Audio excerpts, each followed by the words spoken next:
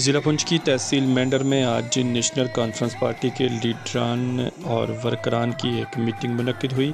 इस मौका पर कसर तादाद में पार्टी से मुंसलिक अफराद ने इस प्रोग्राम में हिस्सा लिया और रजौरी अनंतनाग पार्लिमानी सीट पर इलेक्शन और अपने उम्मीदवार के मतलब तबादला ख्याल किया।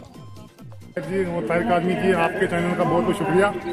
सबसे पहले मैं इस चीज़ में कहना चाहना कि जो मियाँ अल्ताफ़ साहब हैं, मियाँ अल्ताफ़ साहब लारवी को या किसी को वोट नहीं होना चाहिए। हिंदू, मुसलमान, गुज्जर पहाड़ी सब मियाँ साहब साहब के साथ में है। तो मियाँ अल्ताफ़ साहब जो है बड़े पैमाने पर लीड करके जीतेंगे। आज भी आप देख रहे हो, यहाँ पे गुज्जर भी हैं पहाड़ी भी हैं, हिंदू भी हैं, मुसलमान भी हैं। मियाँ अल्ताफ़ साहब के दरबार के बीच में जब उल्स होता है उससे मियाँ साहब साहब ये तो नहीं पूछते कि ये गुज्जर है, ये पहाड़ी है। क्योंकि बाबा के दरबार में सब लोग जाते हैं, जिन लोगों के दिलों में कन्फ्यूज़ है, वो अपने कन्फ्यूज़ साइड कर दें तो सब लोग बाबा जी को वोट देंगे। तो बाबा जी लंबी लीड से जीत के पार्लियामेंट में शुक्रिया खुदा मियाँ साहब का आना, जैसे कि नसार साहब ने कहा कि मियाँ साहब एक ऐसा खानदान है जिसने पुंछ रजौरी के अंदर, बल्कि पूरे जम्मू रीजन के अंदर, कश्मीर के अंदर जो है, सियासत की बुनियाद डाली। हज़रत बाबा निज़ामुद्दीन साहब रहमत ने सियासत की मुकम्मल बुनियाद डाली, जबकि बाबाजी साहब ने ये सियासत और मार्फत दोनों चीज़ों को जो है, वो यहाँ के लोगों को बताया कि क्या करना है, कैसे जीना है। आपका राइट, आपकी आज़ादी कैसे जो जो है वो बच सकती है। तो उस सिलसिला में वो एक बड़ा खानदान है कल अल्लाह के फजल करम से।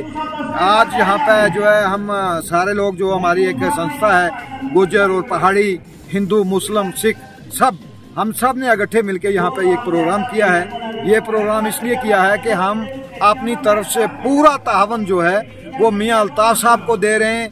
जानी, बदनी, माली सब कुछ जो है, वो मियाँ साहब को दे रहे हैं कि मियाँ साहब से बढ़ के कैंडिडेट हमारे पास कोई है ही नहीं। और इन ताला मियाँ साहब की ही जीत है और वही जीतेंगे। और मैं यहाँ पे खसूस लोगों के अंदर एक कन्फ्यूज़न जो था, वो कन्फ्यूज़न खत्म करने के लिए कि नहीं, यहाँ पे पहाड़ी और गुजर में, पहाड़ी और गुजर में कोई आज़ाद नहीं है। अगर कोई एजाद करता है मतलब कोई लीडर गुजरू में, मैं उसको वो कहूँगा कि वो अपने ही मकसद के लिए करता है और वो इससे पहले भी फेल, बाद में भी फेल, ऐसे लोग होते रहेंगे।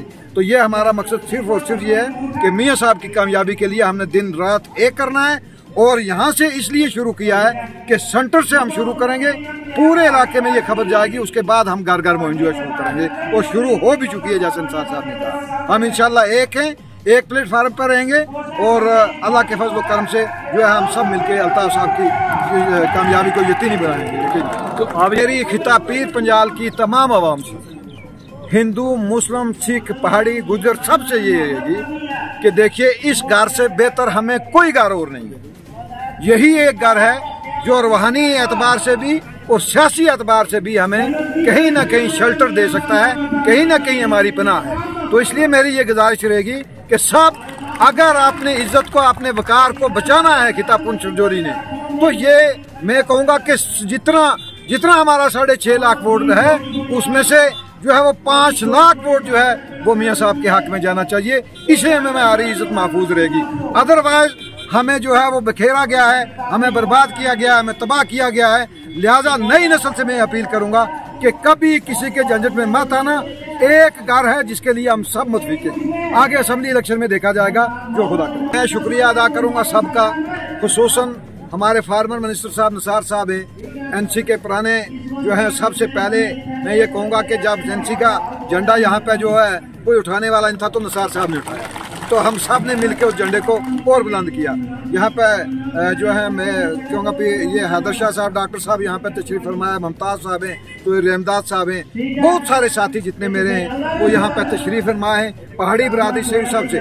मैं उनका दिल से शुक्रिया करता हूँ कि जिस जोश और बलबले से वो आज यहाँ पे आए हैं, उसी जोश बलबले से आगे काम करेंगे। और मैं ये कहूँगा कि उनका मैं इतना, मैं शुक्रिया अदा ही नहीं कर सकता जिस तरीके से वो आए हैं। मैं उनका नहायत ही दिल की हमें गहराइयों से शुक्रिया अदा करता हूँ अपने सब साथियों की तरफ़ से और खसूस जो हमारी टीम है उसकी हमारे पुराने साथी उन्नीस सौ सतासी में हम इकट्ठे थे, उनको बड़े काबिल आदमी बड़े दर्द आदमी तो इस लिहाज से यहाँ पर लोगों के दिलों में उनकी बड़ी कदर है। और ये मुहिम की बात करते हैं, एक किस्म के घर घर पर, घर घर में मुहिम शुरू हो चुकी है। और इसको थोड़ा सा हम और इंटेंसीफाई करेंगे। तो उसका नतीजा अच्छा निकलेगा। उम्मीद है कि काफ़ी तादाद में यहाँ क्योंकि जो मौजूदा लाट है कैंडिडेट्स की उसमें ये काफ़ी ऊँचे दर्जे के उनके ख़ानदानी खदमात भी बहुत हैं। आज से नहीं, सौ साल से पहले जो खदमात हैं, वो भी बहुत हैं। तो हमें उम्मीद है कि काफ़ी तादाद में यहाँ से देंगे पंचकुला और कामयाबी भी इन इनकी